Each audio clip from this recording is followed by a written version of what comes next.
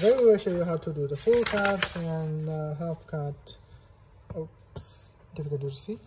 The half cut here at the same time. So basically just need uh, three things you need to remember. The first thing is the blade tip.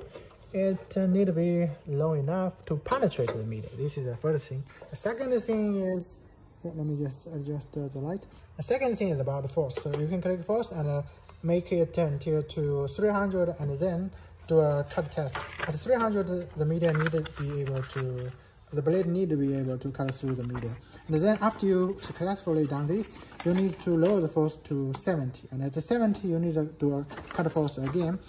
Uh, theoretically 70 will only do cut like this but sometimes maybe at 70 the media can still be cut through depending on your media but uh, in that case that simply means the blade tip is too long you need to make it anti-clockwise to lift it up. And then you can make a test again until you get the 70 gram you cannot cut through the media.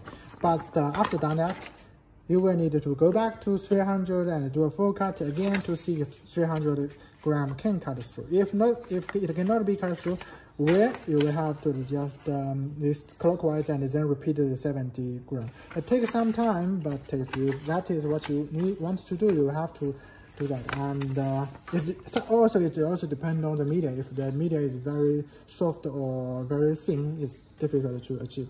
The reason it's able to do half cut and full cut at the same time is because when you use black pass, the machine will apply the current force, which is 70 G.